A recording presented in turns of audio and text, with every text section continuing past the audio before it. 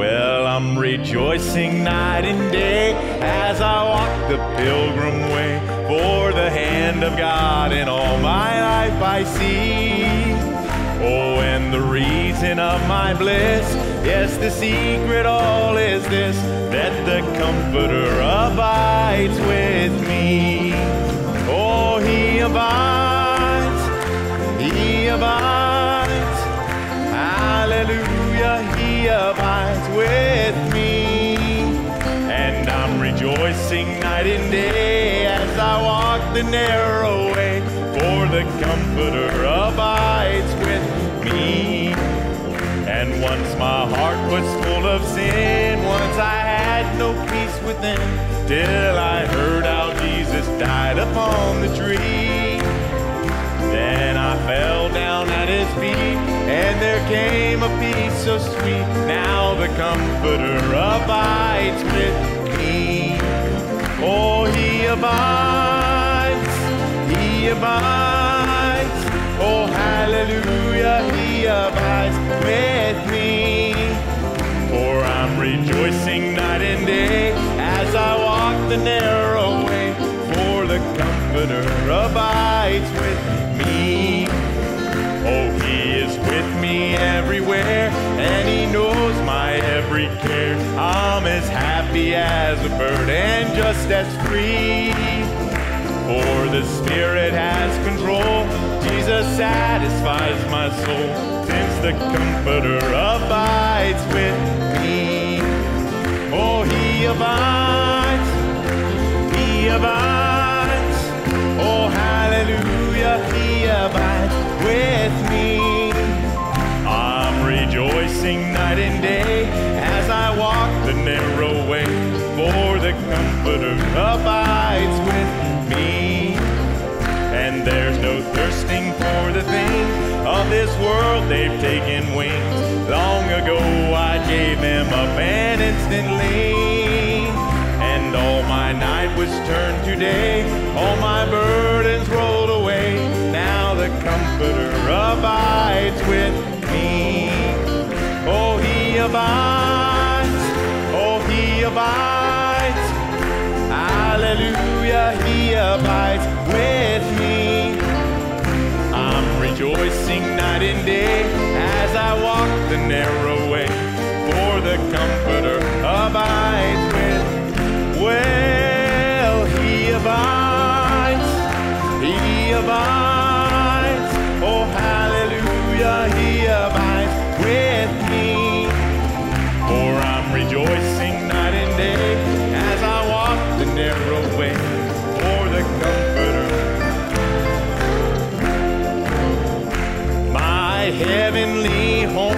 home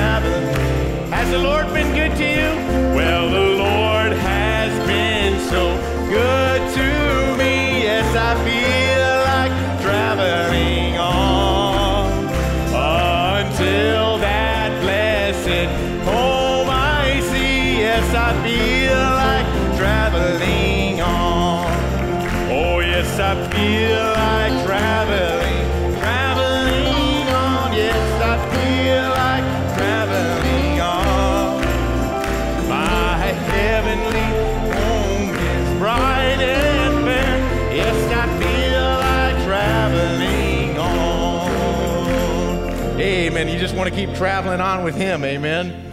He is my everything.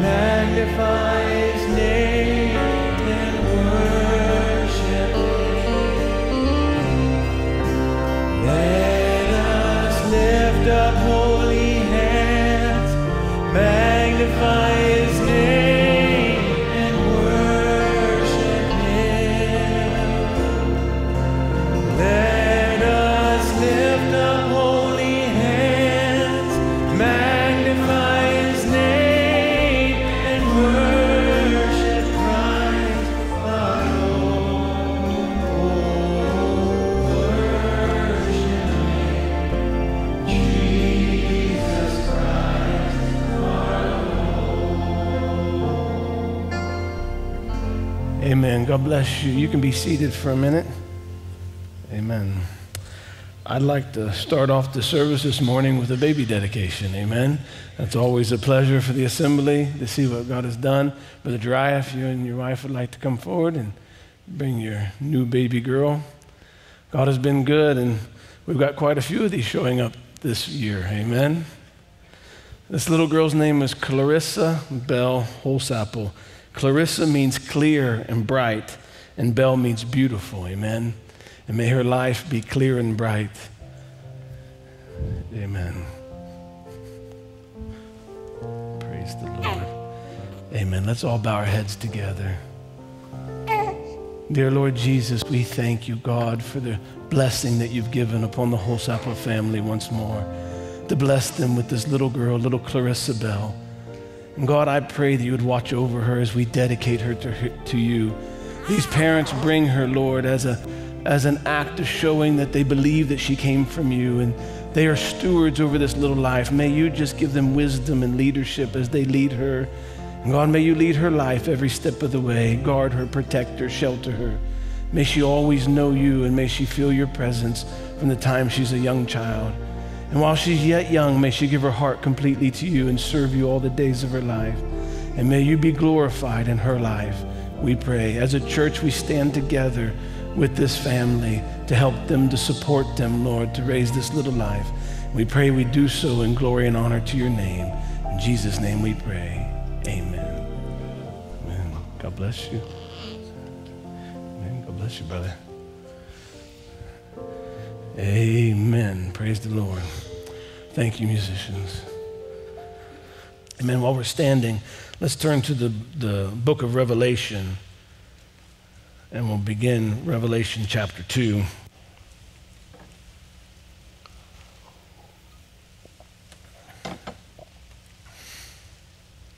Revelation chapter 2. I'm going to read verse 7. This is the message to the Ephesian church age. And we're going to read uh, verse 7. He that hath an ear, let him hear what the Spirit saith unto the churches. To him that overcometh will I give to eat of the tree of life, which is in the midst of the paradise of God. You can have your seats. Amen. Now, we see the promise to the, at the end of the Ephesian uh, message to the Ephesian age. Verse 7 gives us a, a, the first promise and a series of promises. And it says, uh, He that hath an ear, let him hear what the Spirit saith unto the churches. To him that overcometh. So there's a promise laying here, but the promise is only for a certain individual, and it's only for he that overcometh. Amen? This promise is not for everybody, this promise is for the overcomer. He says, To him that overcometh will I give to eat of the tree of life, which is in the midst of the paradise of God. And I say, what a promise that is. Amen. To, to eat of the tree of life means you're a partaker of eternal life. But that's only for the overcomer. Praise God. Now, Brother Branham says in the message, How can I overcome? He says, Watch what the overcomer is promised. See, now, now Laodicea, that's the last church age. There's going to be some overcomers in there. Watch there. They now remember each eh, each church age, the one preceding it inherits all that the other ones offered. So don't leave this in Ephesus because these promises are accumulative. So that's what he says. Each church age, the one preceding it, inherits all that the other ones offered. Watch up here now. It's after they done received all these powers, these names, and everything written that he promised, and eat the hidden man, and all down through. Watch in this last church age, to him that overcometh, I will grant to sit with me in my throne. So though these promises now we're in the Laodicean church age, and uh, uh, these promises are made available, all of the promises, all the way down through, are made available to us if we're overcomers. Amen? So I want to I want to minister this morning on how to overcome. If these promises are for overcomers, then I'd like to be an overcomer. Because if I'm an overcomer, I can eat of the tree of life and I can have all these, I can be a partaker of all these promises through the church ages. So I want to overcome. So the question is, how to overcome, how, how to overcome. Let's, let's keep reading these promises as we go down through. Let's look at the Smyrna church age in chapter 2, verse 11. He that hath an ear, let him hear what the Spirit saith unto the churches. He that overcometh shall not be hurt of the second death. Praise God. Verse 17 in the Pergamos church age. He that hath an ear, let him hear what the Spirit saith unto the churches. To him that overcometh. If you're going to find there's a consistent theme here, let him that hath an ear to hear what the Spirit saith. So you have to be the type of person that has a special ear.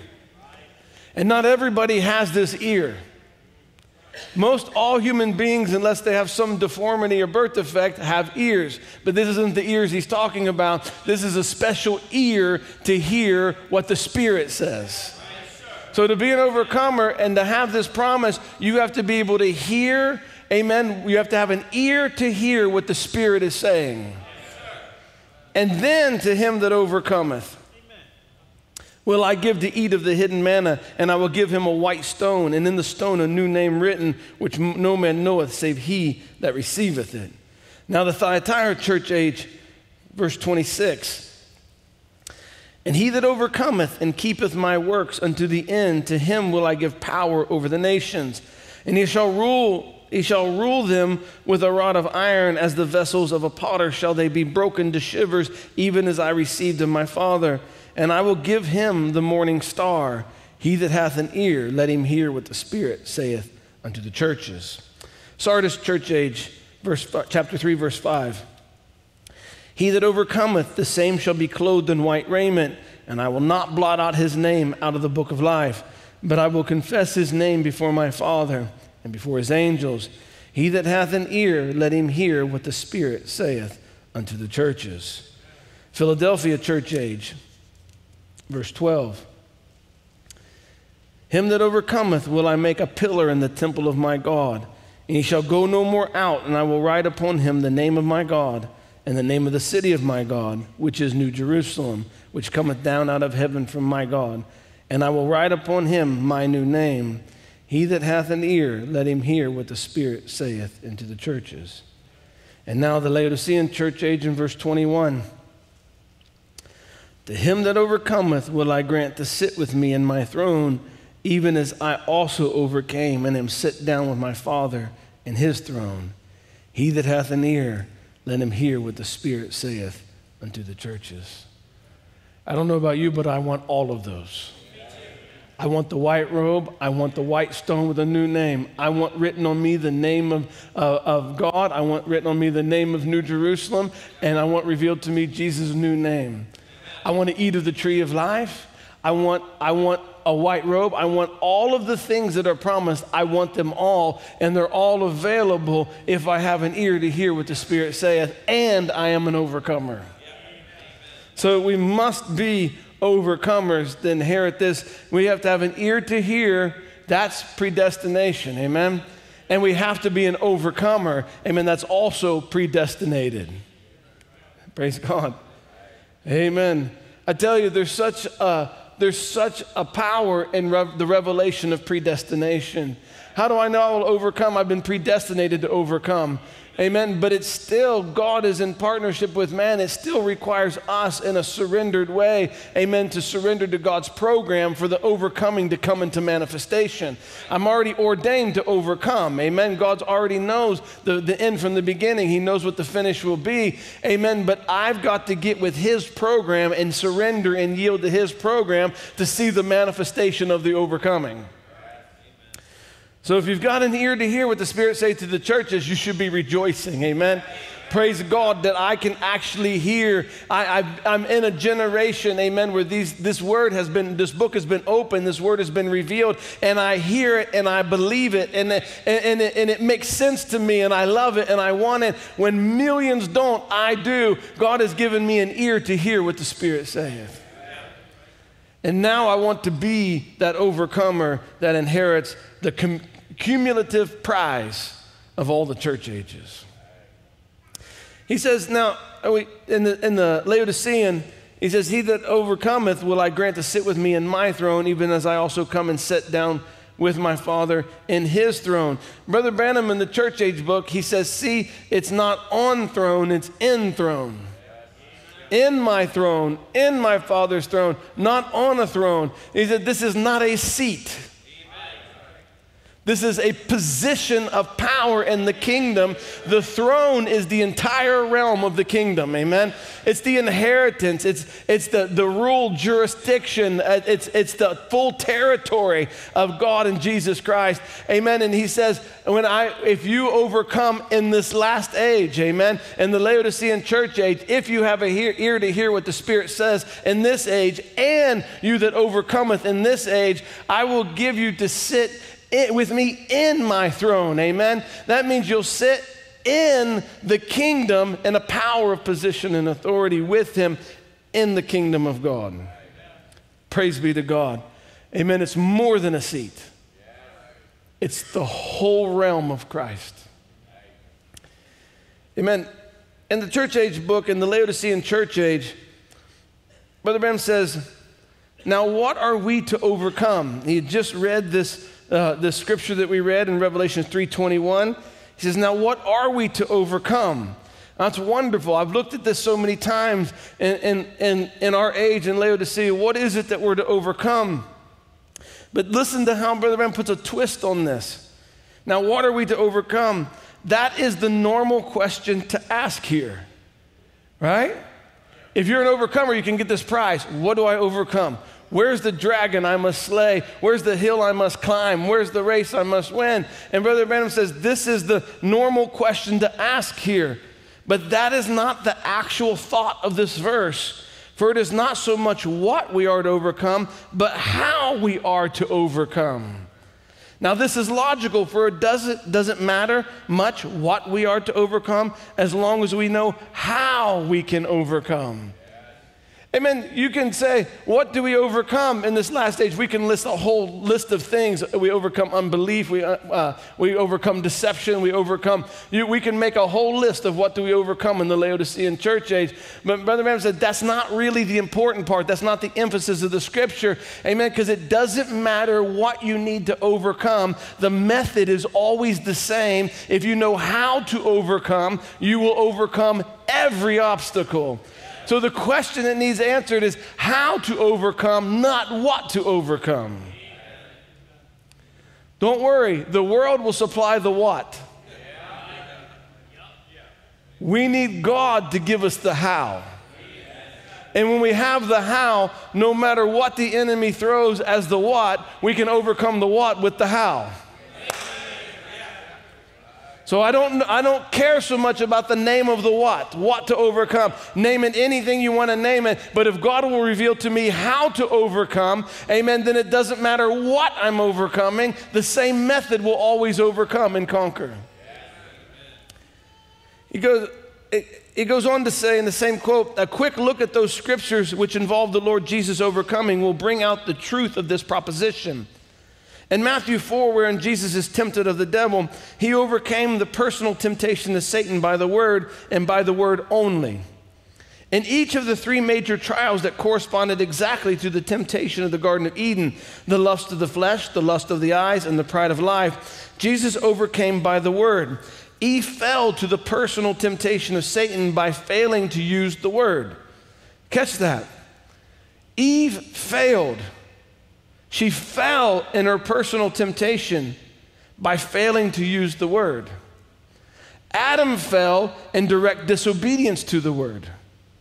But Jesus overcame by the word. And right now, let me say that this is the only way to be an overcomer. Also, it is the only way that you can know if you are overcoming because the word can't fail. Oh, I love this last sentence, we're going to spend a minute on this. Amen. Uh, the, the only way to be an overcomer is by the word. But it's also the only way that you can know that you're overcoming because the word can't fail. So you can't tell whether you're overcoming or not by how well you're performing or behaving. Amen because we go through cycles in life. Amen. Things cycle and, and we have our ups and our downs. Amen. And we cannot always gauge whether or not we're overcoming by what's happening in our lives. Amen. The only way we can know we're overcoming is if we're standing solely upon the word. And if we're standing solely upon the word, it doesn't matter what turmoil we're in in the middle of our lives, we are overcoming because the word can't fail. You say, I'm applying the word, but everything's going wrong. You're overcoming. Hold steady. You're overcoming right now by saying, I believe the word regardless of symptoms, regardless of circumstances. This is the word, and it's the only thing for me. Amen. You're overcoming right now, today. And you could be going through the worst situation of your life, but you are currently overcoming. And that is the only way to know that you're overcoming. Because you can't, you know, wake up in the morning and feel pretty good and there's no symptoms, no troubles. I got a job, there's money in the bank, everything's fine, I'm overcoming. That's no sign you're overcoming. And so whether we're in a trial or not in a trial is no sign whether we're overcoming. The only way to know if we're overcoming is by staying with the word and the word only. This is becoming such a critical message. Amen. I can't get beyond preaching on these things. Amen. Because, uh, uh, you know, I don't know why. It's just the way God's leading me. But as I meditate on this, there's so many things that we try to do and try to produce, and we try to be stronger and we try to do better. And, and we always try to guard ourselves and protect ourselves and reform ourselves and all of this stuff. And we end up continually in a cycle of, of failure and uh, disappointing ourselves. And we got to get our eyes off of ourselves and start focusing on the word that is God, give, God has given us and stick with that word and overcome by the word and stop injecting self into the picture because that's the miserable failure to begin with. So I cannot lean on self, rely on self, depend on self. I've got to get self out of the picture and say, regardless of myself, this word is true. Amen. And I'm standing with this word all the way to the finish line, regardless of what happens. That's the only way to know if you are overcoming, because the word can't fail. When I read that, something lit up inside of me and said, That's the deception of the age to get us to base our experiences with the Lord off of emotions because emotions are so fickle. I'm an overcomer today, I'm a failure tomorrow. I'm a failure today, I might be an overcomer tomorrow. If I'm an overcomer tomorrow, I may only be an overcomer for an hour tomorrow. And then I'm not an overcomer anymore. But this promises to the overcomer. It's not something to play with. I have to know how to be an overcomer because I believe these promises are for me and I want all of the promises. I want to apprehend them all. So I'm not going to play around with this. This is something I have to know is how to overcome. Amen. The devil will absolutely play games with you emotionally. And if we're depending on willpower or emotion to gauge our level of overcoming, amen, we are going to find ourselves miserable, frustrated, and constantly, uh, constantly questioning our sonship, our faith, our brideship. But we base all of these things off the Word.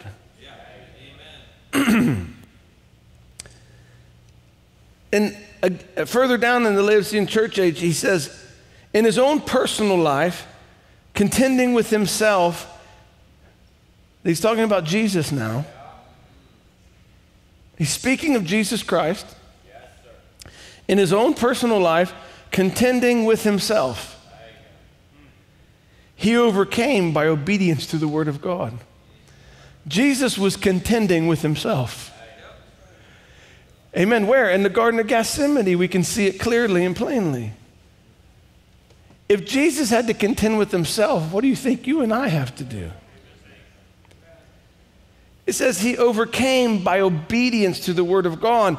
And then Brother Branham goes to Hebrews chapter 5, verse 7. It says, Who in the days of his flesh, when he had offered up prayers and supplications with strong crying and tears unto him that was able to save him from death, and was heard in that he feared. Though he were a son, yet learned he obedience by the things which he suffered, and being made perfect, he became the author of eternal salvation unto all them that obey him. What was he obedient to? The word of God. So he suffered, he yielded himself, he overcame by obeying the Father and yielding to the Word, and that's how he contended with himself and overcame himself. Amen. It, it's not as though Jesus didn't anymore despise the cross. It's not that he prayed in Gethsemane till all of a sudden he was no longer despising the cross or despising the shame of the cross. It was no longer that he didn't love his disciples anymore and he no longer had a feeling for them and didn't want to leave them. Amen. I, I believe he still had his desire to stay with his disciples. I believe he still had love for them and concern for them. I believe he still despised the shame of the cross. But he had overcome himself to yield himself to the will of God, to obey the word of God, and that was his overcoming. That was his victory. What was he obedient to? The word of God. Now then, there will not, listen closely. Now then, there will not be one person who will sit in the throne of the Lord Jesus Christ unless he has been living that word. Your prayers, your fastings, your repentances, no matter what you present to God, none of that will gain you the privilege of sitting in that throne. It will be granted only to the word bride. As the throne of the king is shared with the queen because she is united to him, so only they who are of that word, even as he is of that word, will share that throne. Amen. It doesn't matter how loud you say it. What matters is if you live it. It doesn't matter how boldly you proclaim, I'm this and I'm that and I'm.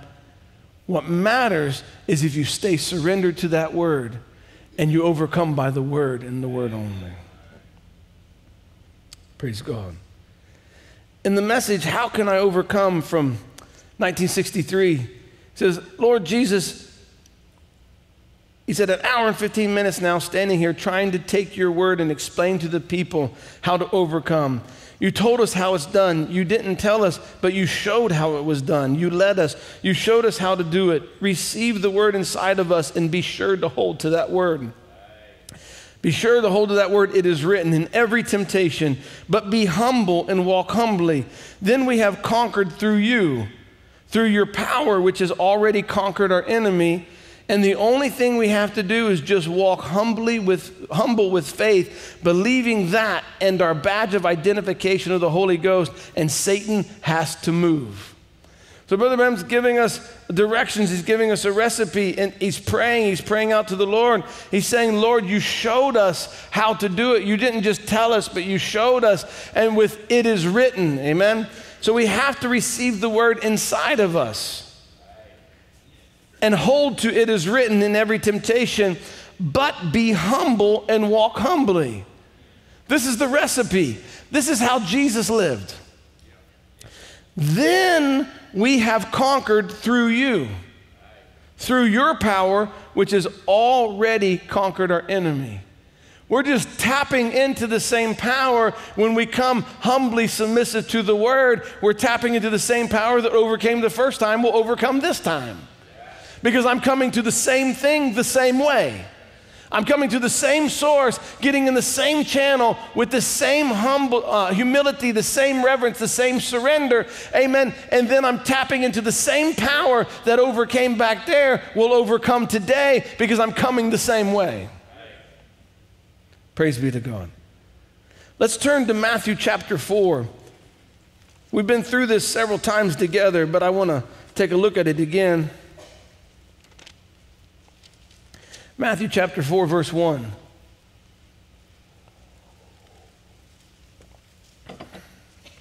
It says now, chapter 4, verse 1 of Matthew. Says, Then was Jesus led up, led up of the Spirit into the wilderness to be tempted of the devil. And when he had fasted 40 days and 40 nights, he was afterward a hungered. And when the tempter came to him, he said, If thou be the Son of God, command that these stones be made bread. But he answered and said, It is written, Man shall not live by bread alone, but by every word that proceedeth out of the mouth of God. Then the devil taketh him up into a holy city, and setteth him on the pinnacle of a temple, and saith unto him, If thou be the Son of God, cast thyself down, for it is written, He shall give his angels charge concerning thee and in their hands they shall bear thee up, lest at any time thou dash thy foot against a stone. Jesus said unto him, It is written again, Thou shalt not tempt the Lord thy God. Again, the devil taketh him up into an exceeding high mountain, and showeth him all the kingdoms of the world and the glory of them, and saith unto him, All these things will I give thee if thou wilt fall down and worship me. Then saith Jesus unto him, Get thee hence, Satan, for it is written, Thou shalt worship the Lord thy God and him only shalt thou serve. Then the devil leaveth him, and behold, angels come and ministered unto him. Amen. Brother Frank, if you could pull up the whiteboard for me, I'm going to use that here in just a second. Brother Branham has a quote here in the message Jesus Christ the same yesterday, today, and forever from 1958. He says, Now we find him as soon as God came upon him, he was anointed, went into the wilderness, and out after 40 days and defeated Satan by the word of God. What did he do? He brought any divine promise in reach of the weakest of Christians. If he was God, why did he let Satan say, If thou be the Son of God, perform a miracle here and show me you can do it? Turn these stones into bread and eat. He said, It is written, Man shall not live by bread alone. So then, as Satan always tries to coat the word, I, I love how Brother Branham says that. He doesn't say quote the word, he knows what he's saying. He coats the word, amen? He puts a little coating on it and changes it a little bit, amen? And he, and he does it intentionally, Brother Branham said. Satan always tries to coat the word and went back and told him when he put him at the pinnacle of the temple, he said, Again, it is written, he defeated Satan on the word of God. That shows that you can defeat Satan on the word of God no matter. The word of God will defeat Satan any place, anywhere, under any condition. If it's in the belly of a whale, if it's in a lion's den, if it's on the bed with a cancer, or if it's laying yonder bleeding to death in an automobile accident, the Word of God will defeat Satan anywhere, and the weakest Christian can use it. It's your God given privilege to do it. Praise God. Amen. We've went through this before and taught on this, but something new opened up in this message, How Can I Overcome? And, and I want to look at that in addition to what we've seen before. So when we look at the temptation, amen, of Eve in the garden, Jesus had to overcome the same three types uh, of, of temptations. And this is, this is uh, uh, if I can mark it this way, these are three. Oh, I'm going to come down here.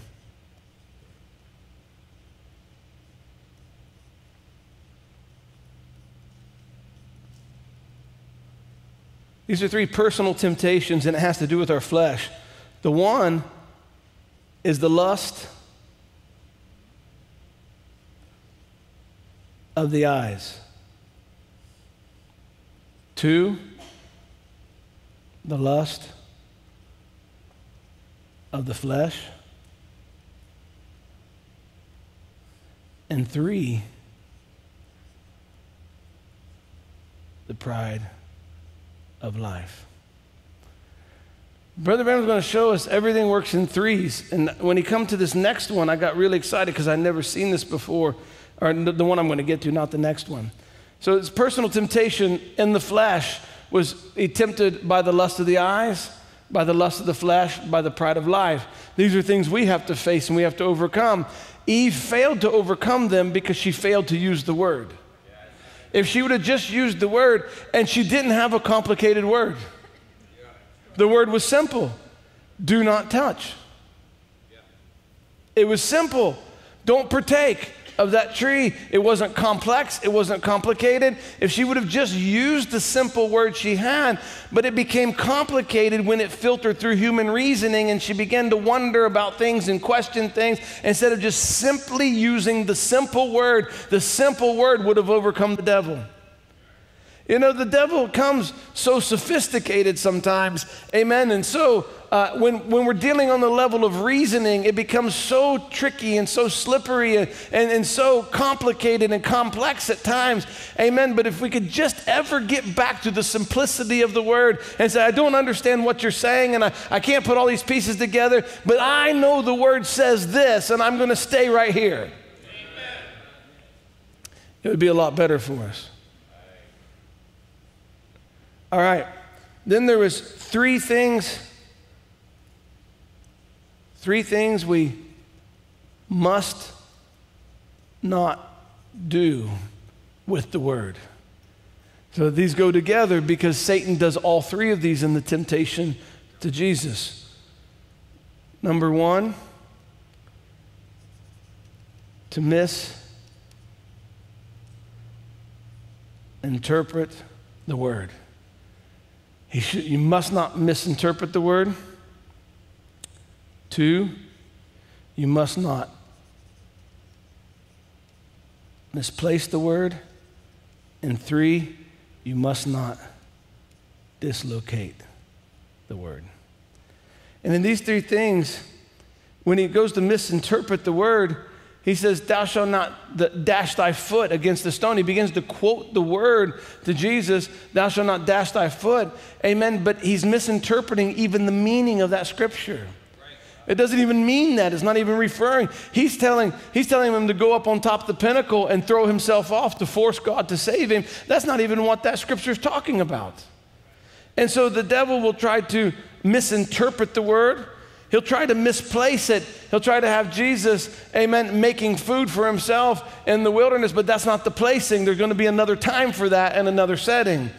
And he tries to get him to dislocate the word by telling him to take the kingdom now. But that scripture, that part of the, of the prophecy doesn't fit now. It'll fit later. Amen. When he comes to return as son of David to set up the kingdom in the millennial reign. So it's part of the word, but it's a dislocation of the word.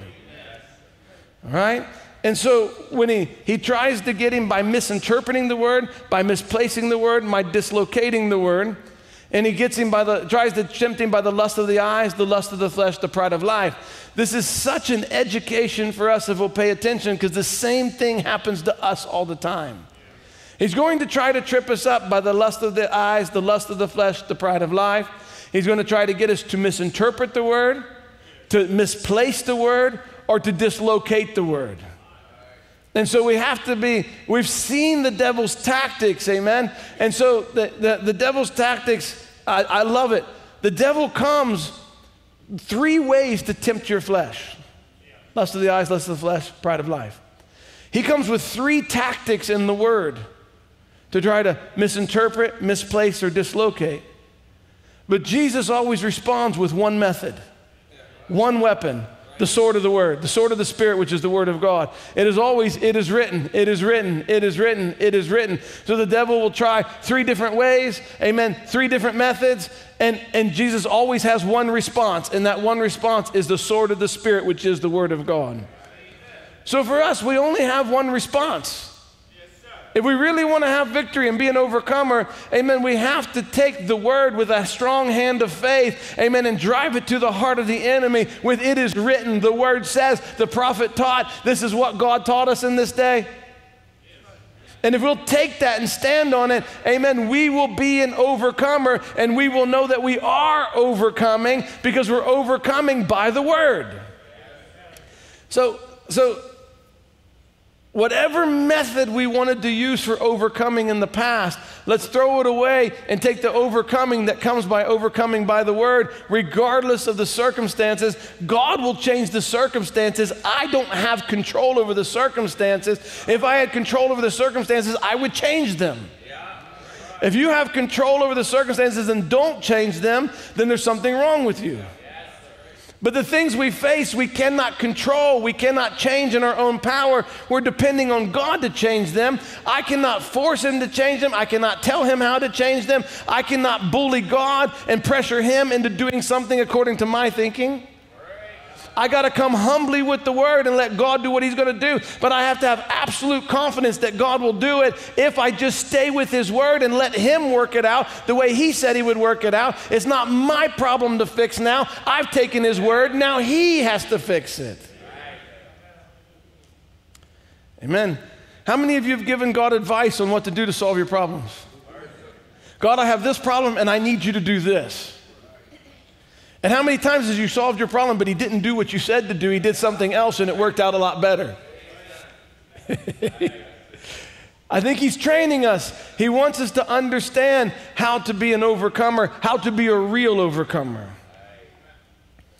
Now, Brother Branham got into three more things here that I, I want to go into. We've taught on all this before, but this one was, was new. I saw this for the first time myself. And the message, How Can I Overcome? He says, His 40 days of temptation by God's word he overcome. I want to express something here just for a few minutes. Satan made three major assaults upon him in the temptation. Three major assaults. Amen. Watch it, always in them three. Don't forget it. He made three major assaults from the highest to the lowest. He tried his best to conquer him, but he was the Word. Amen. What did he use? Himself, the Word. What did Christ use? He used himself. The word. Satan's three major attacks or assaults upon him, but he met it with the word. Every attack, he could make it with the word. Watch this now from the highest to the lowest. He goes on, he says, Now, first, he made his attack upon to use his great power, which he knowed he was the word. He knowed his position. You believe he did? This I, the Son of Man, he knowed his position, and Satan come and wanted him to use his own power on himself to feed him, want to feed himself. He was hungry. A man gets hungry, he can do almost anything. He'll steal, rob, beg, borrow anything. He had that appetite. Remember, we have to understand that Jesus was 100% man. and 100% God. When he, after 40 days, when he was fasting, and it says afterward he was a hungered, he was hungry. Very, very hungry. Amen. And so now the temptation comes. He had that appetite, and Satan used his first great major assault upon him to make his own power that he had been given to overcome with and use it on himself. He didn't use it on himself. No, he used it on others. That's right. He used it on others, not himself. It wasn't for him. Though he could have done it, he certainly could have done it. So let's look at this next round. So these are three errors. He called them three great assaults, three errors.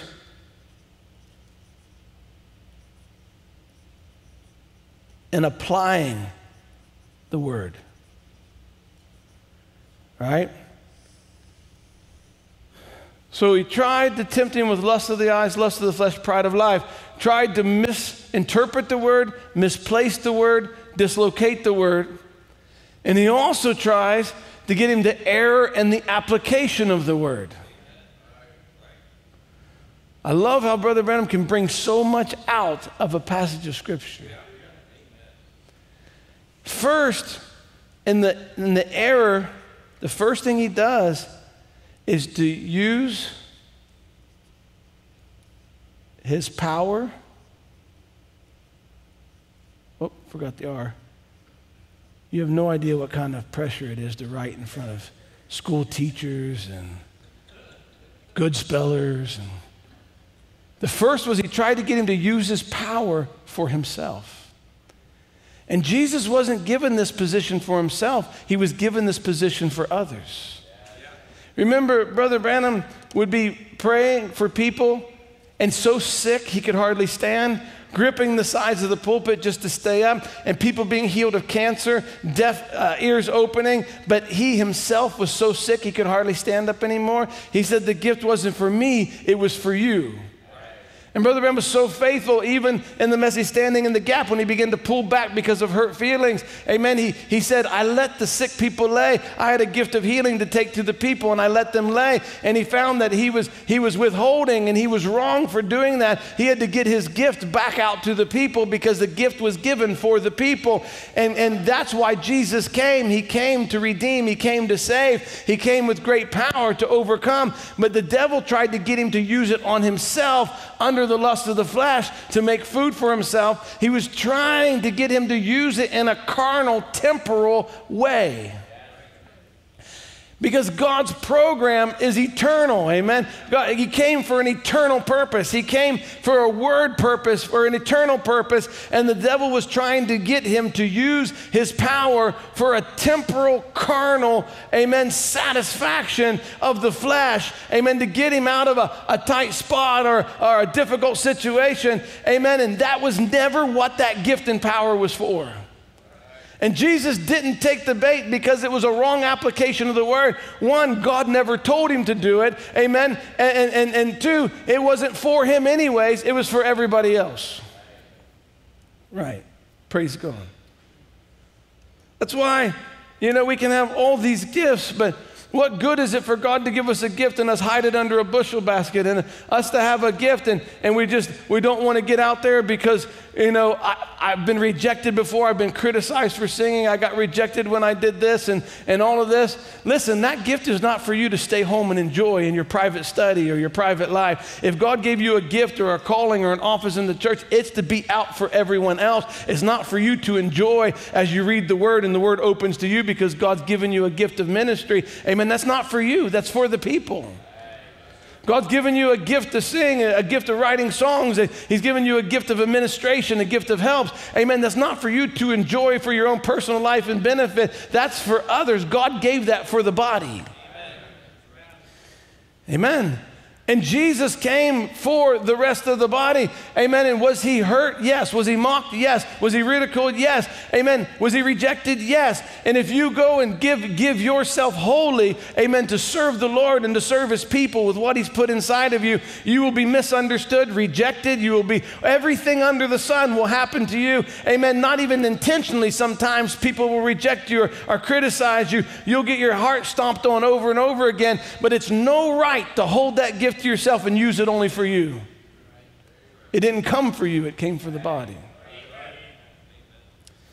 And Jesus passed that temptation. How can I overcome it? Again, further down, he says, uh, he says, then the second assault said, I'll hurry. Just looks like the time just goes so fast. The next great assault was that he made upon him that he would be a show off. And how that does hit God's servants to be a show off, to show what you can do. Glory to God, hallelujah. I'm a deliverer. I'm so, see, see, come up here on top of the temple and sit down here. He tempted him to do it. Now remember, he was tempted to do it hard. Said, Now, if you want to be something before the people, stand up here on this temple, jump off, and I'll give you a scripture for it because it's written. He'd give the angels charge over thee. We know that the, that's a mis, uh, misplacement of the scripture, a misinterpretation of the scripture. But he gave him a scripture nonetheless. Amen. I, will tell you something for sure. That devil's so slick that if, if you've got something in your heart you want to do, for wrong reasons, for fleshly self pride, for the pride of life, the lust of the flesh, the lust of the eyes, and you want to do it anyways, rest assured the devil will show you a scripture or a quote that will give you license to go do that. And if you're not really honest looking at it, it will be a misapplication of a quote, a misplacement of a scripture, but you'll do it anyways because it already fulfills something you want inside. Look at Eve. Eve, she was beguiled, she was deceived. She was deceived because she wanted to be deceived. Brother Branham said she didn't know about this mystery, uh, replenish the earth, but she wanted to know. She had a desire to know, amen, but the information was held back for a period of time. The mystery wasn't unlocked yet, and she wanted to know, amen. She didn't know, but she wanted to know. So when the devil came, and uh, when the serpent came to her, he began to entice her with this information, amen. Your eyes will be open, you'll be like God's doing good and evil. He gave her a way to know. She wanted to know. Was she deceived? Yes. But she already wanted to know. So listen, here you have people walking through the Garden of Eden where she can walk with her mate Adam, who is a prophet. She can walk with him. She could have waited and asked Adam. And in the cool of the evening, God came to walk in fellowship with his children. She could have asked God the Father, but she didn't go to Adam. She didn't go to God. Amen. Because she was being tempted in something she already wanted to do and wanted to know.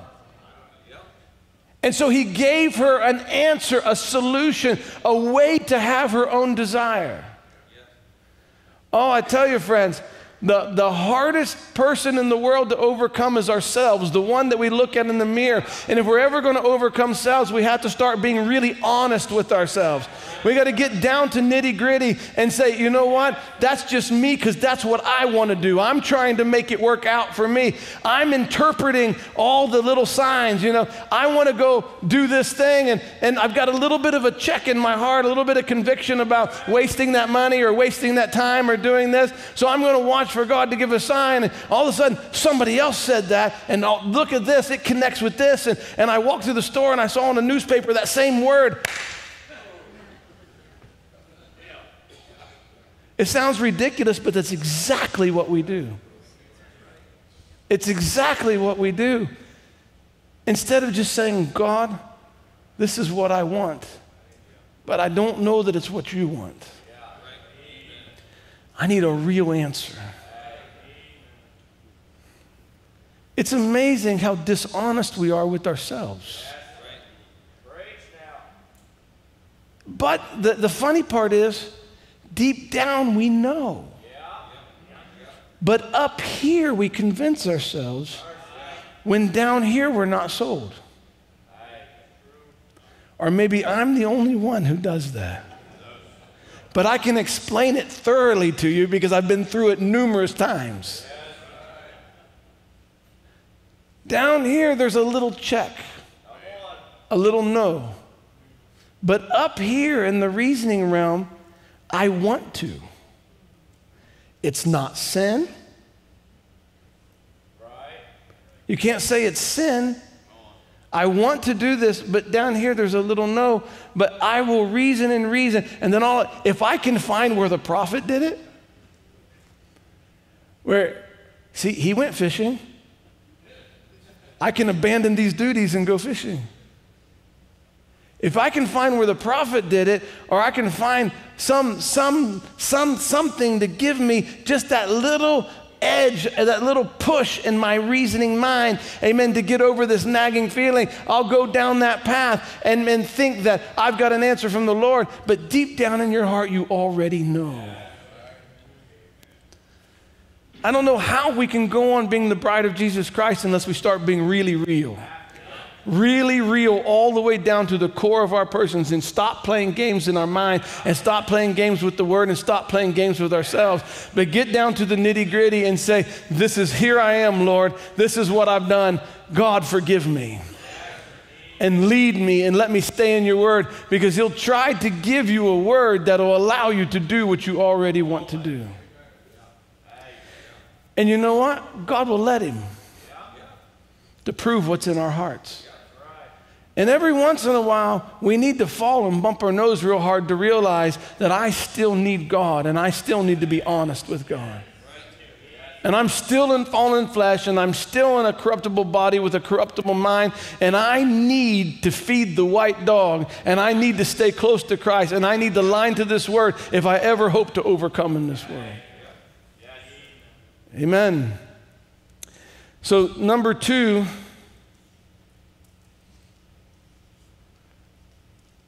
is to exalt self. Number two is to exalt self. He wanted to make him a show off to show his authority. I'm, I'm, going to continue in this quote, but I want to throw in a couple other thoughts Brother Branham has from other messages. In Harvest Time, he says, Satan, Satan ever had, even then, watch in this one place here, he coded the word. Even on his supernatural that he tried to get Jesus to do, the supernatural, see, being having supernatural, what if Jesus would have listened to him? Now, wait, you want to stay with the word, do you? You want to stay with the word? He said, It's written. He'd give his angels charge concerning this. Anytime you dash your foot against a stone, they bear thee up. But he wasn't dashing his foot against no stone. Right. I'm saying? It's a misapplication, misinterpretation of the word. That word was if he would dash his stone, foot against stone. He wasn't dashing his foot against the stone. Amen. See, watch. What if he would have to say, stay, stayed with it? Did you notice? I never said he quoted the word. He coded it, coded it like putting an icing on a cake, covered it over, whitewashed it. It wasn't in its right place. So he quoted the word to Jesus, but it was a misplacing, misinterpretation of the word, amen, to get him, amen, to do something to exalt himself. And how can I overcome? He says, but see how the devil gets? The devil wants you to mind him. He minded only what the Father said do. That's right. He said, Why? Satan said, It's written. He'd give the angels charge. He said, Yes, but it's also written. There you are. See, he knew who he was. Satan did. The, now, listen to what Brother Branham says. The thought runs deeper than what it's wrote. He's talking about the scriptures. Yes, he used the scripture, but there's something deeper. You're, you're taking it on a surface level and misusing the word. It's got a deeper meaning and there's a deeper understanding. He said the thought runs deeper than what it's wrote. It's, in, it's inspiration. The kernel is on the inside of it. You see what it really is. Though he could have done it, he didn't do it. He had never paid heed to Satan's proposition. There, he, here is a good thing. Sometimes Satan can take you, and when you think that you're doing the will of God and can make you a proposition, you'll fall for, fall for it. Yes, sir, he sure can. Amen. And Brother Branham was showing us that it's the word, but it's the word It's the word misplaced. It's the word misinterpreted. Yes, the scripture says that, but that, it's not this application. Yes, the word says that, but Brother Branham said, see, it's the thought that's deeper than what's wrote.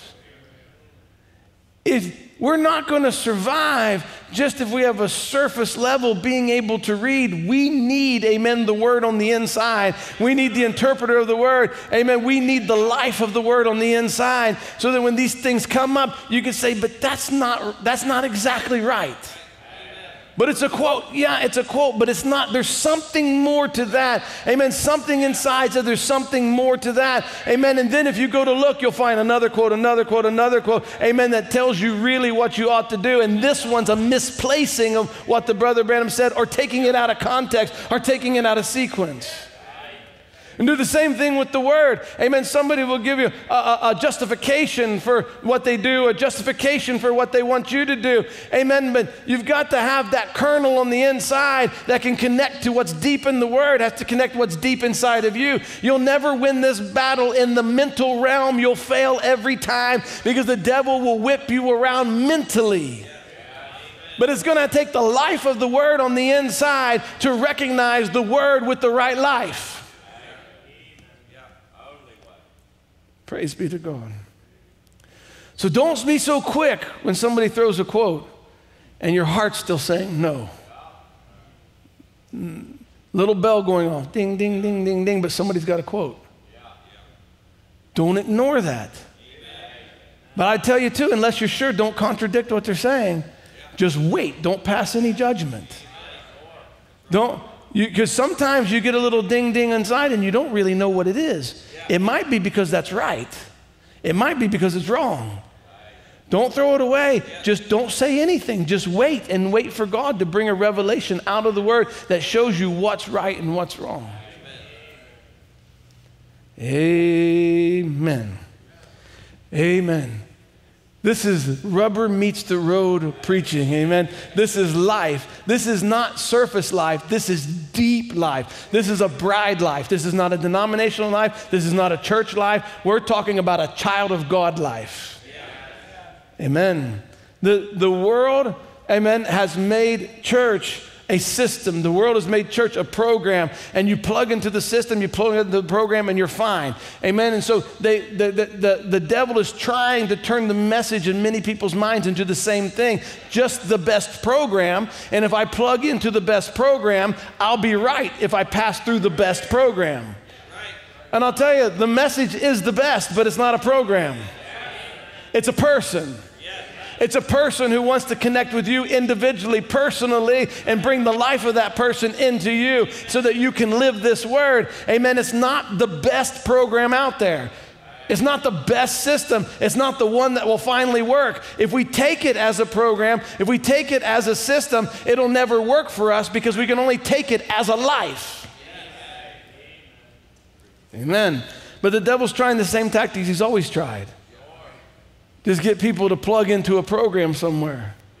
And they'll say, I'm in the message. I'm in the message, therefore I'm okay. That, that doesn't compute. That's denominationalism. I'm in the message. It's like, you know, I, I, why are you doing that? And I don't understand this. And didn't the prophet say, I'm in the message? I, I don't know. That doesn't work for me. Amen. I want to be in Christ and I want Christ in me. I want to live by this word and this word only. I don't want to come into these temptations and, and face the devil, amen, not knowing where I stand and having no personal Christ on the inside, no Holy Ghost, amen, to lead and guide me and come into a mental battle with the devil. It's not going to work. Back to the back to the quote and um, where we were reading. I don't remember. No true servant of God ever does that. He's talking about showing off now. You see a man showing off his chest out and all like that. Just remember, there's something wrong there. If, if somebody starts to take a gift, take an ability, take a talent, and begins to uh, uh, exalt themselves and become proud in that, there's something wrong there. It's not right. There's something wrong there. Amen. And the, the prophet of God is so clear to teach us that, and not just to teach us that, but demonstrate that for us. I, have you ever seen a more gifted human being in all of your life? But he was so humble. Brother Branham didn't, didn't play games, didn't show off. And even when he, when he allowed his campaign managers to create the miracle line, you know, he was warned not to do it, but he let them do it again. Bring your worst cases, bring the miracle line. There'll be, and the, the managers were saying guaranteed healings every night. Amen. And when Brother Branham didn't stop that when he was supposed to stop that, all of a sudden in the, in the prayer line, the gift would not work in the prophet of God. And it wasn't working, and it scared him to death. And he went to pray. Amen. And he he made his mistake because God doesn't want that kind of showmanship. He doesn't want that kind of, I guarantee miracles every night. Amen. How can you guarantee, amen, what you're depending on God to do as if it's linked to you somehow and you have control? I guarantee, amen, uh, uh, and then say healings, guaranteed healings every night, miracle line, bring your worst cases, amen. And, and God tolerated that in, in a season of ignorance, and there was great healings and great miracles, but when He corrected it, He allowed the campaign managers to keep doing it, and God showed who was in charge when He lifted the operation of that gift from that prophet, and it did not work, and it, and it absolutely tore up the prophet of God. He went in desperation because he prayed for a girl that had barely had any hearing. And when he prayed for her, I, I haven't read it recently, so I may have it wrong, but I believe it goes, she was having problems hearing, and he went to pray for her, and she went completely deaf that it got worse, not better. And then went for another one, and the same kind of thing happened. And he stopped and he went back in prayer and desperation. Amen. And God was teaching the prophet a lesson that he had to learn. This is not you, this is me. Amen. You're, you listen, you and I are not in control of God, God's in control of us. Amen. Praise God. Oh, this is a lesson to learn, friends. So, so much nonsense about I'm the bride and I can do and this puffed up, arrogant attitude. Amen. If you, if you have a revelation that you're the bride, it should bring such humility, such reverence, because you know there's no way you're capable of it. You're not worthy of it. Amen. Left to yourself, you would ruin everything God ever tried to do in you, that you are the worst of the worst of the worst, but it's by His grace He has made you bride, and it's by His hand He does anything worth doing in your flesh is done by Him. So, this attitude of I'm the bride, amen, and, and I, can, I can continue to dress in the way the prophet told us not to dress. I can dabble with makeup. I can I wear excessive jewelry, tight clothes, and high heels, and put a TV back in my house. And we can let marriage and divorce issues run rampant through the church because I'm the bride. You've got a wrong attitude and a wrong spirit because the bride will come humble to this word because she knows that she and herself has no right to have that title. You're not born with an inherent right to have that title. It's the seed of God on the inside that gives you the right to, bear that title, and it's God, it's not you. If God ever lifted his hand off of you and the Spirit of God ever moved away from you, you would see how capable you are of controlling your flesh and how capable you are of living a Christian life. If he gave you one day 12 hours from 6 a.m. to 6 p.m., where the Spirit would pull right out of you and leave you to your own self, you would be desperate for Him to come back because you would have no control over this animal that you live in. So there's no place for this arrogant attitude. Amen. We've got to come back and say, I am only what I am by the grace of God. And you can say, I am the bride of Jesus Christ. He gave me a revelation. There's no shame in saying, This is what I am, but I'm not that by me, I'm that by Him. And I don't, the life that I live now, I don't live by myself. Amen. I live by the life of the Son of God who's come and lived in me. Praise be to God. That's a tactic of the devil to get us to play around with the Word of God because of who we are. To exalt self over the Word, to exalt ourselves and become proud, and, and all of a sudden become uh, seemingly in our minds untouchable. I'm the bride. He doesn't want me to suffer. I'm the bride. He wants me to be happy. I'm the bride. Don't forget the scriptures that says if you want to reign with him, you have to suffer with him. Amen. Nonsense talk like, don't you think God wants you to be happy? You know what? I think God wants me to be right more than he wants me to be happy. Because true joy, true happiness is found in being aligned with the Word and being connected with Christ. He's not worried about my emotion of happy, He's worried about my soul being right. Praise be to God. God is good.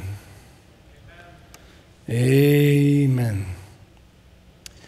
Going on in the same quote, uh, how can I overcome? No servant of God is a show off of himself or try to take God's power and show himself above somebody else. I love that quote. I love it. You remember Moses did that. Remember that? God gave him power to do whatever he wanted to do, made him a prophet. He walked down to that rock and he smote the rock the second time. That was against God's will.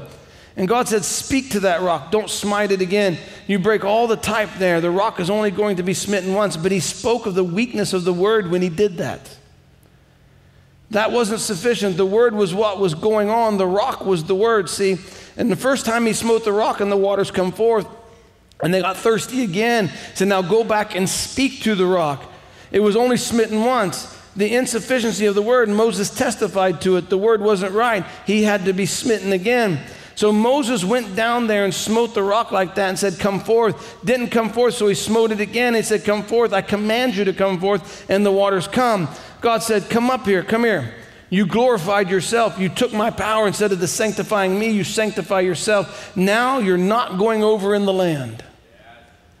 Here's Moses. There was none like Moses. Moses was, the, was one of the greatest prophets of all time. Amen. God used him as a deliverer. God used him to bring his people to the border of the promised land, give him his word. Amen. Moses was a great prophet, but because he exalted himself, he did not go over to the promised land because God is not playing games.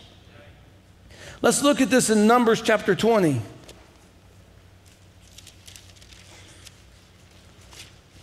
Numbers chapter 20.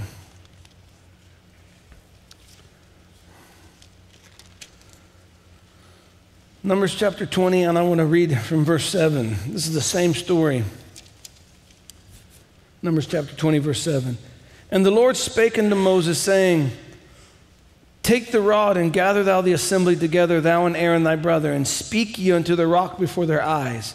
And it shall give forth his water, and thou shalt bring forth to them water out of the rock. So thou shalt give the congregation and their beasts drink. And Moses took the rod from before the Lord as he commanded him. And Moses and Aaron gathered the congregation together before the rock. And he said unto them, Hear now, ye rebels, must we fetch you water out of this rock? Uh oh. There's the problem right there. Was me. He was exalting himself and Aaron.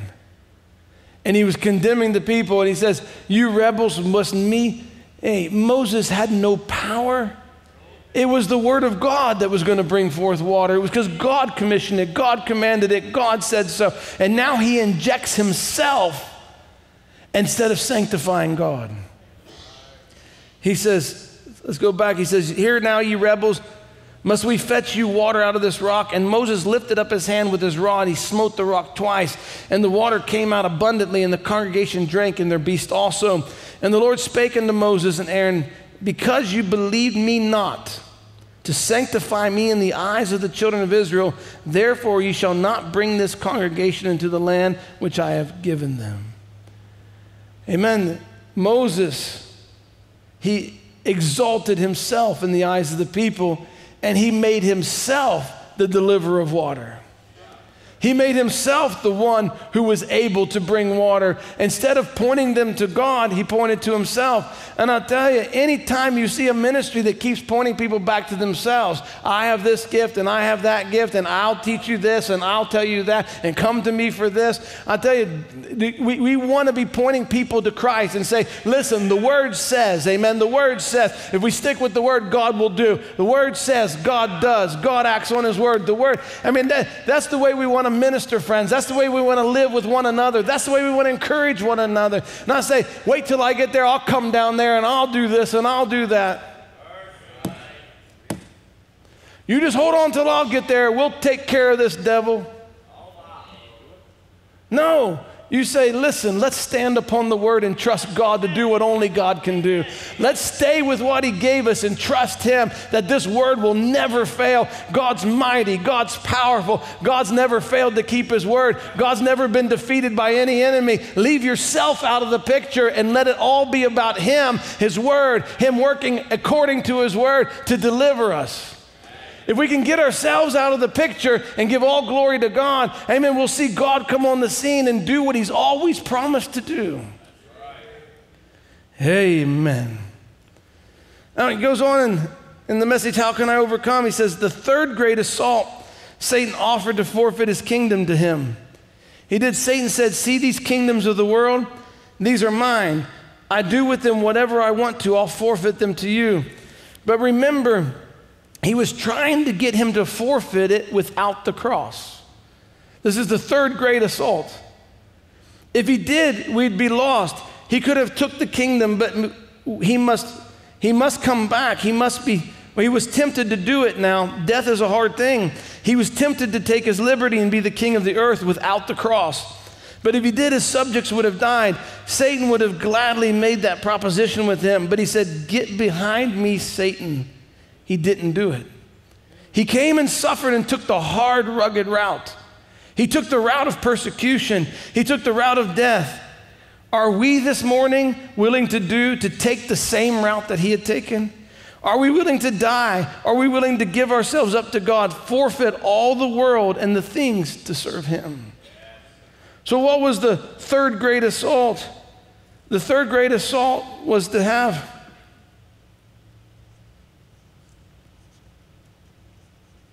victory without sacrifice.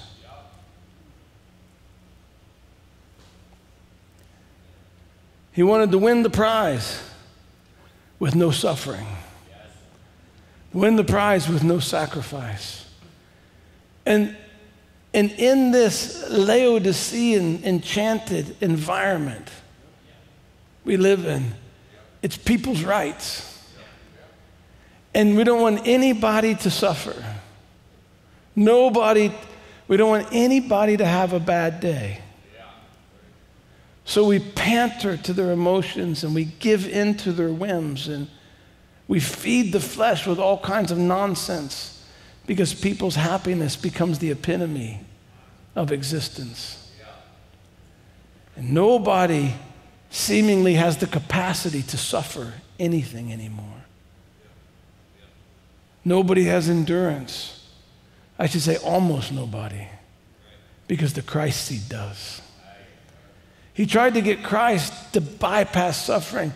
And I'll tell you, friends, you, you, you just hang on. The devil tries constantly to get us to bypass suffering. There, this word, the word way is a rugged way. The word path is a is a self denying, difficult path to walk. It'll require personal sacrifice. It'll require death to self. It'll require laying down your emotions, amen, to follow after this word, amen. And that goes stark against, um, con- direct contrast to the Laodicean spirit, amen. But the Spirit of Christ was willing to go through for the glory that lay ahead. He was willing to follow the word and deny himself and make a sacrifice out of himself and die out completely himself to stay with that word. And that brought the victory victory. What will bring overcoming in our lives when we will deny ourselves to stay with this word? When it cost us friends, when it cost us relationships, when it cost us peace, amen. When we get misunderstood and rejected for staying with the word, amen. Nobody wants to suffer rejection, nobody wants to be misunderstood. Everybody wants to be liked by everybody. And if you're not one of those people who want to be liked by everybody, then there's some disorder. Because everybody wants to be liked. Everybody wants to be loved. Everybody wants to be well thought of. Amen. But to take the word way is to take the word with the Lord's despised few. And the devil will try, one of his tactics in the temptation is try to get us to, to the prize without any personal sacrifice to be the bride and get all the benefits of the bride, but never having to completely surrender and die to self to follow the word to get to the prize. He wants us to take the title of bride, pin it to ourselves, keep our old lust and life and desires, and not completely die out to our own thinking and our own wants. Amen. And call ourselves bride and have the prize without the sacrifice.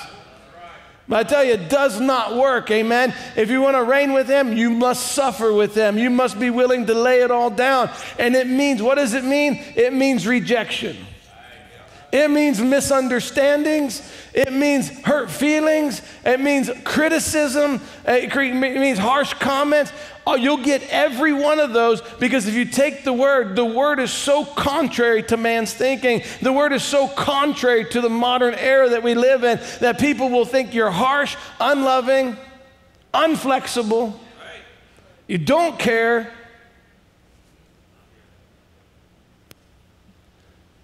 Has anybody been a Christian for very long?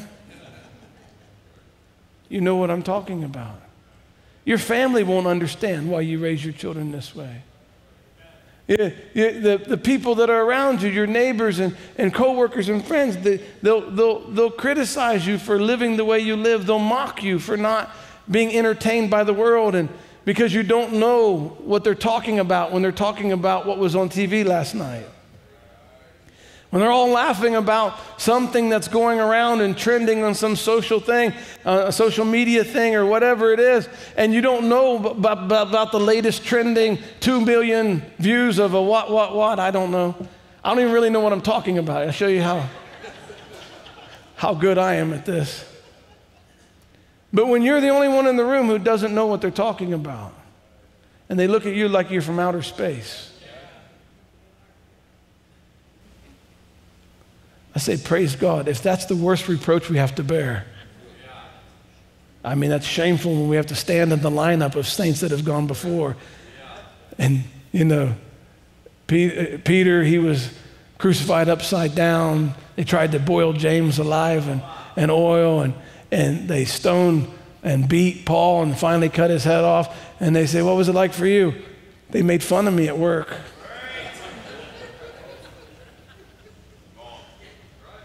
But sometimes we can't even do that. Sometimes we can't even stand on the word because we don't want to be laughed at or made fun of or rejected by coworkers. Trying to get us to take the prize without sacrifice. Trying to tempt us, amen, to, to win the prize, be the bride but not have to surrender all. One of the hardest things for us to lose is our reputation. We guard it, we protect it, we defend it. But listen, what good is your reputation? I want his reputation. I want to be aligned with him. I want to be known as Mrs. Jesus Christ, not whatever I was before. Let that reputation die. Amen. Let what people think of that man die. Amen. But it's what I think of him that matters. So he tried to get him to bypass, bypass suffering, bypass the cross, and take the prize and take the kingdom and rule as the king of the world with no suffering. He's going to try to get you and I to believe that we're queens that'll sit on that throne, never having had to be rejected, mocked, scorned, laughed at, never having to surrender our own wants and give up our own ideas and cut off relationships and separate from the world and throw things away and cut off entertainments. And we want to keep all of that and still be a son of God and still have a right to sit in his throne. That's a, that's a deception of the devil. But if I want to win that everlasting prize, God calls for total separation from all unbelief. Will it hurt? Yes. Will you be misunderstood? Absolutely. Will you win the prize? Yes. Will you care when you get to the other side? No. Know, one more quote here. He says, in, um, How can I overcome? He said, Overcome how? By taking the word, the promise, and humility, humbly walking. How can I overcome? By taking the word, the promise, humbly walking. I want to turn to Daniel chapter 3 together, and I want to look just a couple examples as we wind down. Go to the book of Daniel.